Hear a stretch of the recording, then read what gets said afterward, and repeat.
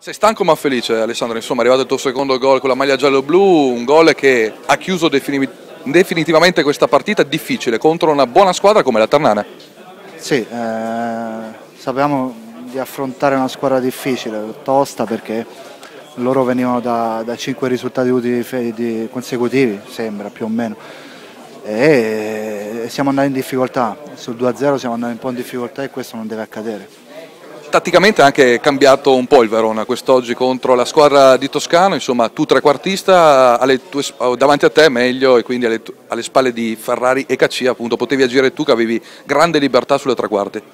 Sì, eh, questa partita il ha deciso di adottare questo modulo e, e, per fortuna è andata bene perché abbiamo vinto, abbiamo penso convinto fino al 2-0, perciò una giornata importante per proseguire questo cammino. L'Empoli che pareggia, di nuovo 10 punti dalla, tra la terza e la quarta, il Sassuolo che si ferma in casa del Novara, insomma la classifica sorride sempre più al Verona.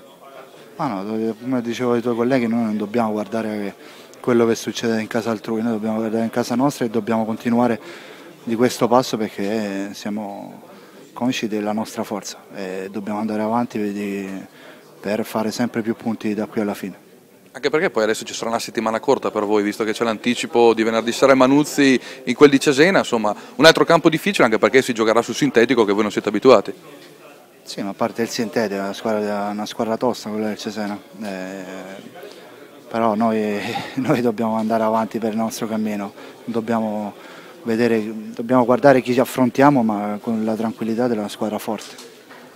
All'inizio scivolavate tutti, è dovuto al fatto che c'è stato parte del terreno che è stato cambiato, rizzollato, insomma tacchetti sbagliati perché più volte ho visto che perdavate stabilità.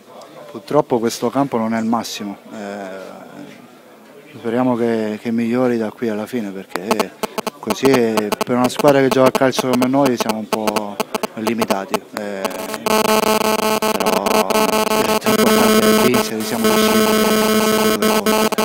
Vinta l'ottava finale, perché insomma ne abbiamo ancora sette sul nostro cammino per continuare a sognare in grande.